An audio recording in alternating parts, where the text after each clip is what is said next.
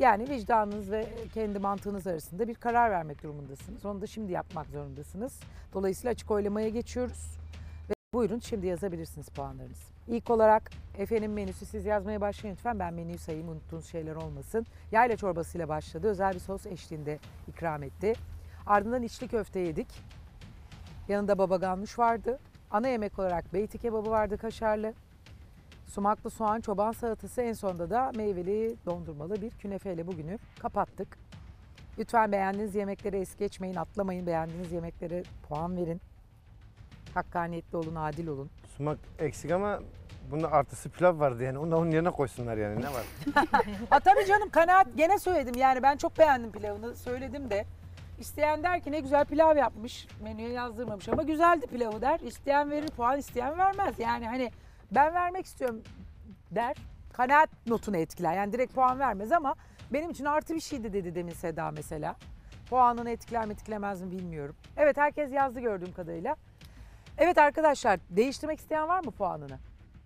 Yok. Peki herkes emin. Birazdan e, Selcan'ın puanıyla başlayacak açık oylama. Sana da sorayım sevgili Efe. Kaç bekliyorsun en düşük?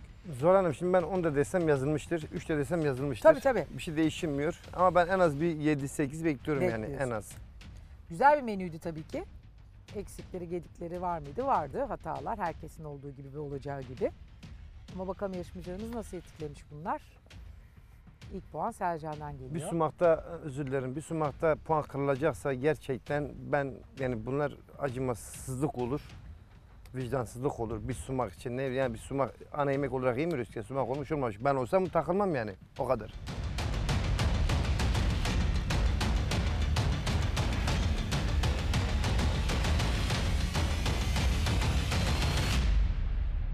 Evet Selcan açabilirsin ve söyleyebilirsin puanını.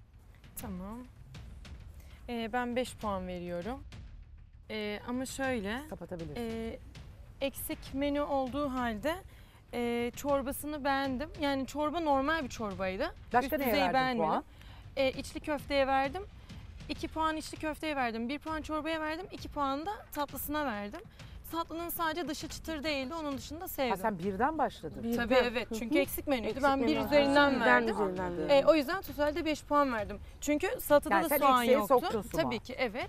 E, bir tek sumağı sokmadım. Salatanın içinde soğan olmaması da benim için bir Ha, eksiydi. çoban salatasını. Evet. Çünkü çoban salata soğanlı olur.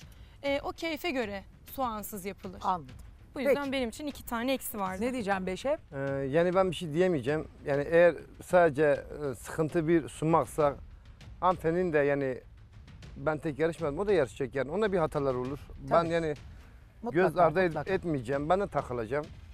ben Evet, tek sumak sumağa takıldığımı söylemedim ama. Ya Çorbanın bir normali bir şey yok. Güzelse güzel. Çorbayı Zuhal güzel Hanım dedi ne zaten. dedi? İyiyse Çorbaya iyi. puan verdim dedi. zaten. Hayır, hayır, ben onu biliyorum. Ha, ben sadece Çorbaya yani puan verdim. yarışmada ürün nedir? Ya beğendim ya beğenmedim. Ha normaldi, şuydu buydu diye bir şey yok. Ya evet puan veriyorum ya vermiyorum. İşte çorba Peki. iyiydi ama puan vermiyorum. Beğendiğim şeyleri iki puan verdim. Hayır, ben size ona bir Belki şey diyeyim. Ben sadece çorbanın sumakta üstünde kızdığınız için naneli yağlı normal olması gereken bir sos olsaydı ona da 2 puan verecektim. Sağ olun, 6 teşekkür puan ederim. olacaktı Sağ totalde. olun. Ama normal hiç görmediğim bir sos olduğu için e, Peki. bu beni etkilemedi. Özkan'ın puanını göreceğiz şimdi.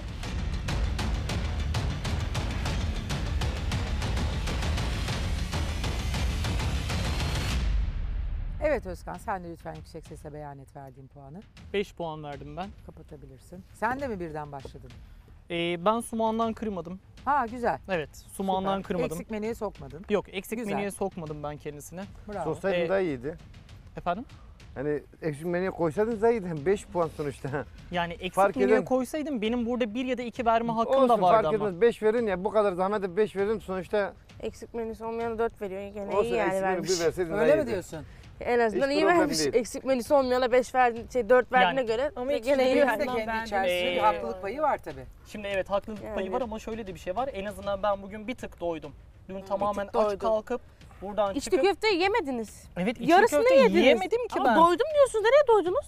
E, çorba da belki de benim yemediniz, bir kapasitem kaşık bu aldınız. kadar yani. Kapasitem bu kadar ve o Gerçekten kadar ben doyabildim. doydum demeyin. Doyma Benimkini de noktası yedim. farklı dedi. Doyduğunuz bir Evet. menüye 2 puan veriyorsunuz. Nasıl demek ki? Daha ufak bir şey Yani- yiyip hemen duyuyorsunuz. Yani ben burada baba ganuşu beğendim. Çorbayı zaten söylemişim. Standart olması gereken gibi. Ellerinize sağlık. Beğendiniz mi beğenmediniz mi çorbayı?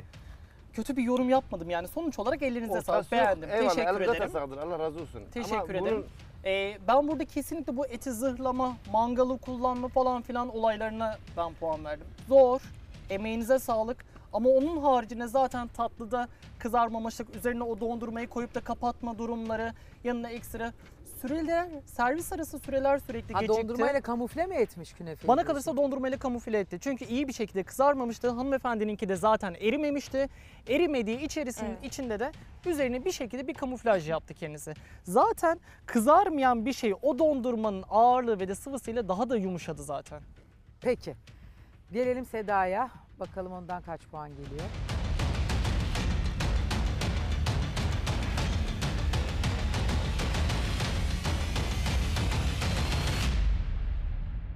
Evet Seda paylaş lütfen yazdığın puanı.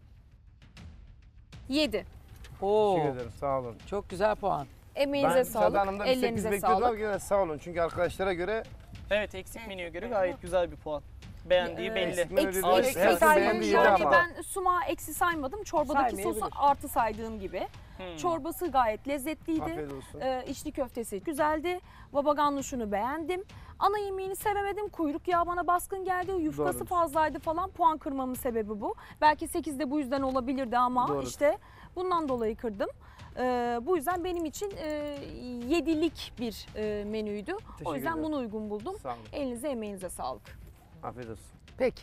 Son puan gelecek birazdan Begüm'den.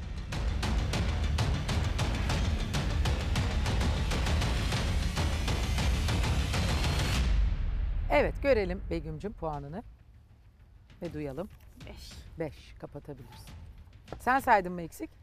Ee, eksikten daha öte ben iki şey beğenebildim. Yani çorba. Ha, yani hani- üçten mi başlattın puanlamayı bu önemli. Ha, üçten başlattım. Tamam Şey yani yapmak bir tek istemedim. eksik sayan burada Selcan oldu gördüğüm kadarıyla. Diğer Evet, yarışmacımız evet. yine Sumak üçten normal şey çıktı. İyi yapmışsınız. Ee, İyi ki öyle salatayı yaptınız. soğansız hani şey pek şey yapmadım. Neye verdin iki puanı peki? Çorba ve içli köfteye. Tatlım gerçekten şekersiz ve kaşar hiç erimemişti. Yani çok sertti. Şeker problemi kızarmamıştı, bizde yoktu ama bir tek etmemişti. sende mi yani? Bunun şerbeti Yani- aynı. Hiçbirimize şekersiz gelmedi herhalde. Belki de o köşesine gelmedi. Benim Ha belki yoktu. bilmiyorum. Köşe miydik Denk seninki? gelmedi belki de. Bilmiyorum. Bu arada eksik Deneyenler saymama de rağmen olmuş. galiba en yüksek puanı ben vermiş oluyorum.